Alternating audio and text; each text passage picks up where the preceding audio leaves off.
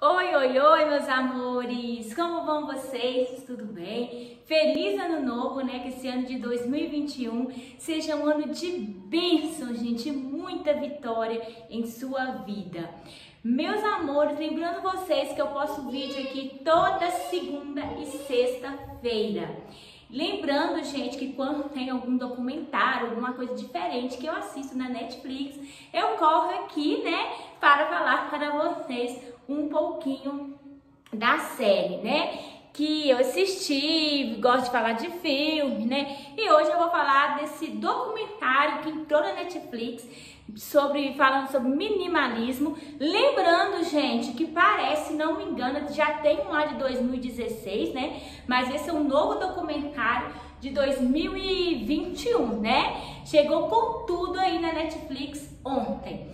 E, gente, eu achei super interessante estar aqui falando, né, é, trazendo esse assunto aqui para vocês, que eu, né, até tenho, assim, assistido vários vídeos, eu tenho até acompanhado, gente, um vídeo de no YouTube aqui, esqueci o canal, gente, como é que chama, é de uma menina, né, que ela é minimalista, é, e ela contando, né? Eu achava que as pessoas, gente, eram seguras, eram pessoas miseráveis, mas não é não, elas são pessoas econômicas e são pessoas também, gente, que não precisam de muito para viver, né? Para que viver numa casa com cinco, seis banheiros? Para que tantos sapatos? Para que tantas roupas, né, gente? Então são pessoas, gente, econômicas e que também são pessoas também que gostam de viajar, gostam de ter outras coisas, gente. Economiza por um lado, mas gasta lá no ou por outro, né?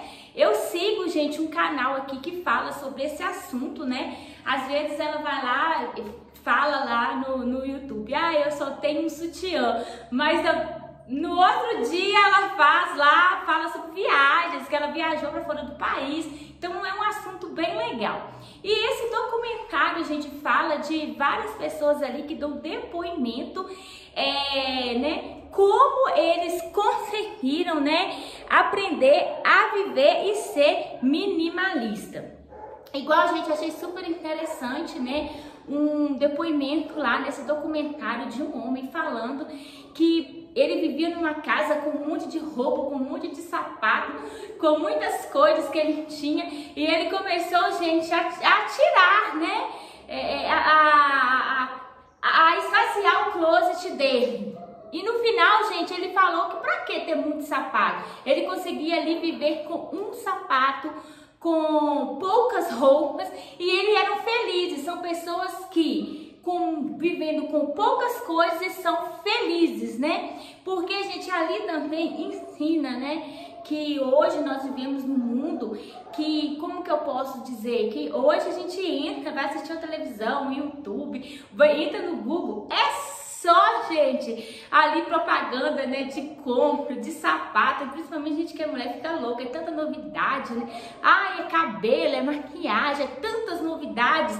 E nós não precisamos disso, gente, de ter tanto, tanto para viver. Então, gente, eu achei super interessante esse documentário, né, de pessoas dando depoimento deles dela, deles ali, dela, né? Tem várias pessoas ali falando, gente, sobre o minimalismo.